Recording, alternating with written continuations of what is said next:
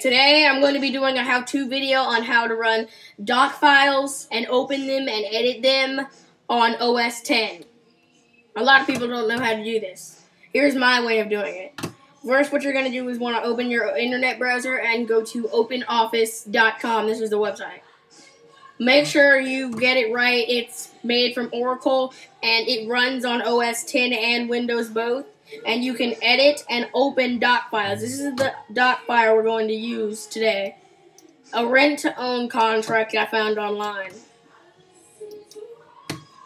So what you're going to do is you're going to click, um, I want to download OpenOffice, and then click OS 10, and then uh, when that's done downloading, when you have the doc file, see, if you want to um, open it without doing anything, See, it's gonna tell me since I used to have use Microsoft Word, but I don't anymore because, in my opinion, it sucks and it doesn't have it anymore.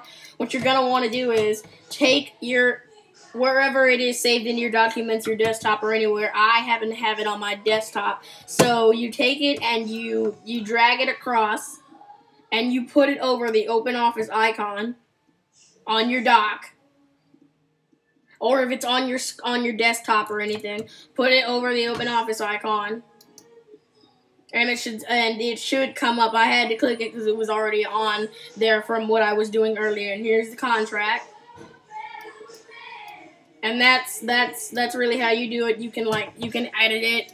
You can type things into it. You can you can edit it. You can you can do all the stuff. You can print it. You can save it save as, um, you can save it as a doc, you can save it as a 4.0 template, a text file, a DocBook, you can save it as a Pocket Word, a Microsoft Word file, you can do any of this, and you can transfer it over if you send it to yourself in an email, such as Gmail or Yahoo, either one is fine.